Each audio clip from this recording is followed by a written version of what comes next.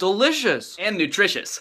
Girl Scout cookies, now made with real Girl Scouts. What?